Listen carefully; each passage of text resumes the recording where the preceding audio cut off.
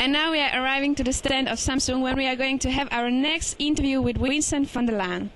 Freak in the morning, freak in the evening. Ain't no other freak like me that's breathing.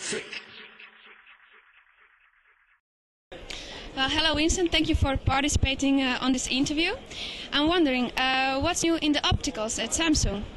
At this moment, we're uh, introducing a new product. That's uh, True Direct, and uh, we have another product coming. That's Blu-ray. Do you know why Toshiba doesn't sell uh, HD DVD anymore?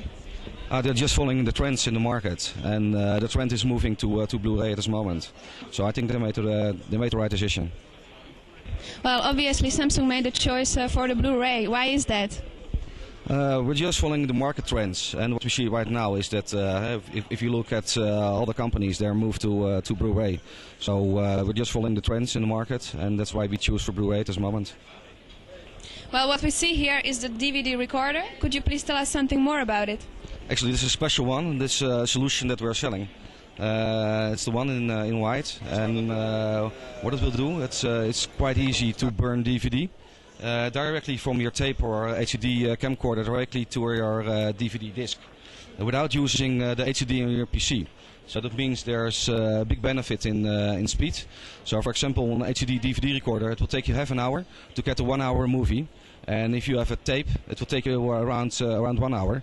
The nice thing is you can do it within three clicks. Um, so it's not not that difficult, and everybody can use it. And uh, as said, it's the drive, but it's actually the solution that we're selling, and everybody can use it. I see here the Blu-ray uh, combo drive. When can we expect the Blu-ray recordable?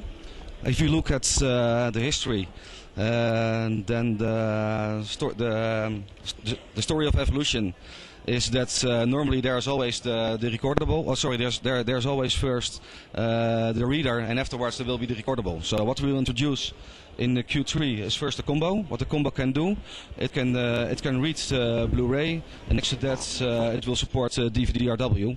In Q4 we will come with uh, the recordable, and so then we have a full lineup, starting from from half height to slim and external. Well, now that uh, Blu-ray made it, what can we expect from Samsung in the nearest future? I, I think for this year, uh, 2008 will be the introduction of Blu-ray. 2009 uh, it will take off, and uh, for several years will, uh, will Blu-ray uh, will be the product. And afterwards, I think we have to see what what is going on in the market. We're always looking at the benefits from our customers or our end users, and based on their benefits or based on their needs, we will we will develop new products. Thank you, Vincent, for this interview. You're welcome. This was Samsung and more later.